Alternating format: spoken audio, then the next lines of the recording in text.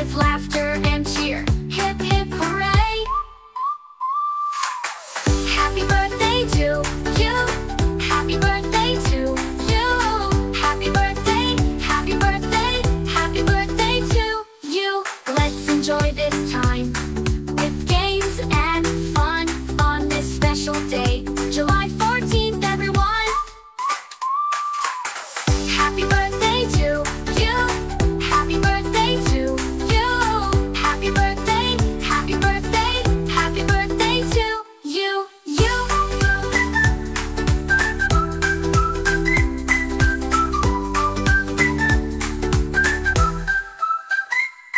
Let's enjoy this time with games and fun on this special day, July 14th, everyone.